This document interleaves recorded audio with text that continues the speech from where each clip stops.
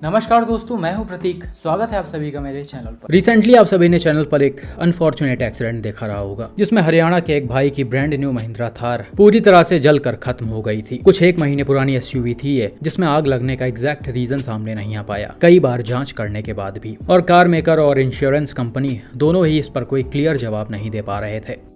खैर, बिल्कुल उसी से मिलता जुलता एक और इंसिडेंट मेरे पास आया है। इनफैक्ट उसी इंसिडेंट को देखकर राजस्थान से महिंद्रा थार के ओनर मिस्टर लोकेश जाखड़ जी ने भी अपनी चीज़ें शेयर की हैं।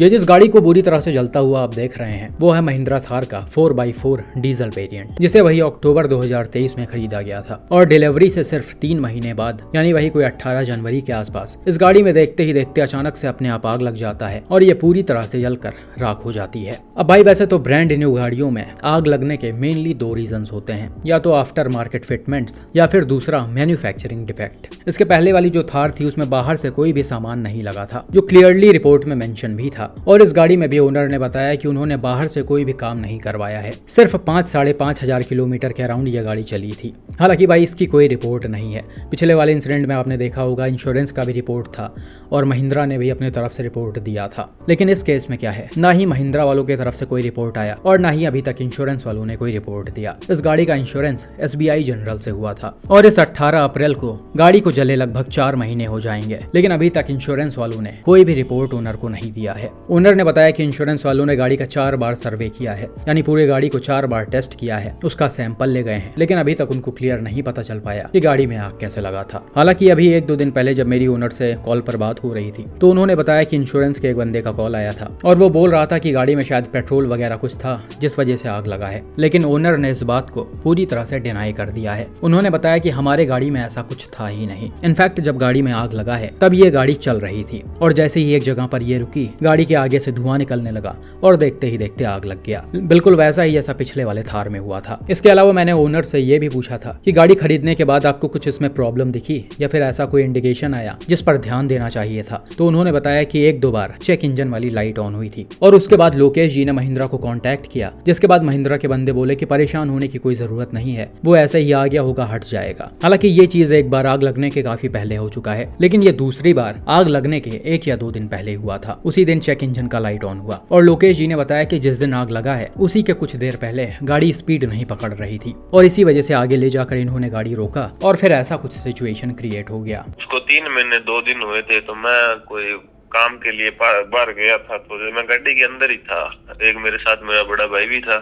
हम्म। जैसे मैंने गाड़ी का स्विच बंद किया तो उसके अंदर आगे से धुआँ निकला हम्म। और गाड़ी में धुआँ धो गया। जैसे तैसे करके मैं तो बाहर निकल गया मेरे तो कपड़ा वगैरह बाल वगैरह जले थे। अच्छा, अब उनका कल फ़ोन आया था इनका इंश्योरेंस वालों का। अच्छा अच्छा। वो सैंपल वगैरह भी लेके गए थे रात का तो उन्होंने बोला है की इसके अंदर पेट्रोल का मिला है एविडेंस पेट्रोल के कारण गाड़ी से दी ऐसा कुछ मैटर ही नहीं था ना तो गाड़ी के अंदर पेट्रोल था ना कुछ और।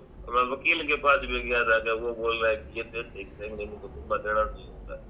कंपनी वालों के पास गया वो बोल रहे हैं कि हमें क्या हमें इस मैटर में आप कुछ नहीं पहले तो वो रिपोर्ट वगैरह कर रहे थे कि इंश्योरेंस आ जाएगा कोई दिक्कत नहीं है। कंपनी वाले भी चेक करके गए दो तीन बार बम्बे से गए थे चेक करने के लिए। आ, ये चौथी बार सैंपल लेके गया जो अब रात का अवतार का सैंपल लेके गए हम दो थे और कुछ कपड़ा वगैरह थे हमारे वहाँ क्यों हम काम भी के लिए बाहर गए थे उसके अंदर इसके अलावा उसके अंदर कुछ था ही नहीं।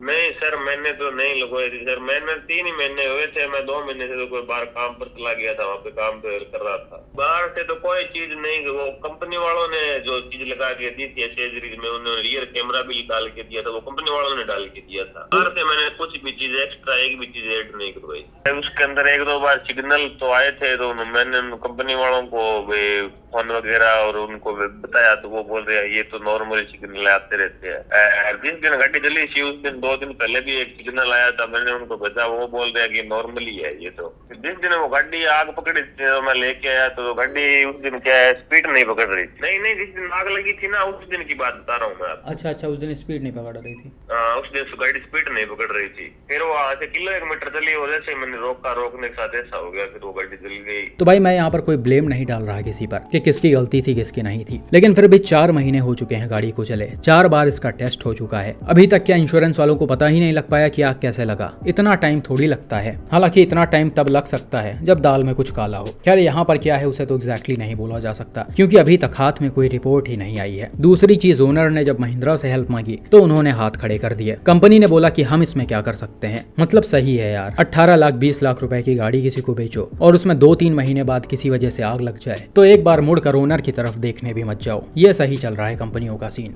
आम आदमी से पैसे लेकर उसी को परेशान करना। खैर भाई, हम रिक्वेस्ट ही कर सकते हैं SBI जनरल से और महिंद्रा ऑटो से कि वो जल्द से जल्द इसका रिपोर्ट ओनर को दें, ताकि पता चल सके कि गाड़ी में आग कैसे लगा है। और भाई, ये भी रिक्वेस्ट है कि रिपोर्ट एकदम सही सही दें। चार महीने हो चुके हैं, कुछ भी हो सकता है। बाकी भाई, मैं इस इंसिडेंट को ट्विटर पर डाल रहा हूँ। आप सभी से रिक्वेस्ट है कि इसे ज़्यादा से ज़्यादा रिट्वीट करिए, ताकि ओनर को जल्दी हेल्प मिल सके। बाकी भाई, महिंद्रा को थोड़ा अपने गाड़ियों पर ध्यान देना चाहिए। ऐसे इनके गाड़ियों में आग क्यों लग रहा है? हालाँकि मैं इस थार की बात नहीं कर रहा, क्योंकि अभी तक मुझे भी नहीं पता कि इसमें आग क्यों लगा है। मैं सिर्फ़ वीडियो इसलिए बना रहा, क्योंकि ओनर चार महीनों से परेशान हो रहे अब रिपोर्ट में जो भी आएगा, वो भी मैं आगे आप तक पहुंचाऊँगा। लेकिन इसके अलावा भी कुछ ऐसे केसेस थे, जो ये बता रहे थे कि इनके गाड़ियों में कहीं ना कहीं मैन्युफैक्चरिंग डिफेक्ट था, जिस पर कंपनी को बहुत अच्छे से ध्यान देना चाहिए। बाकी भाई आपको इस पूरे इंसिडेंट पर क्या लगता है। कमेंट करके ज़रूर बताएँ।